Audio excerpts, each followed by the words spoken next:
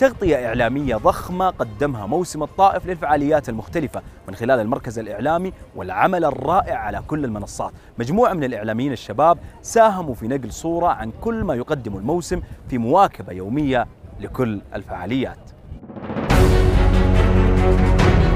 العمل في المركز الإعلامي على مدار الساعة لا يتوقف أبدا آه، لذلك تم آه، عمل أكثر من ثلاثة آلاف مادة إعلامية بمختلف أشكالها المرئية والمكتوبة والمذاعة أيضا.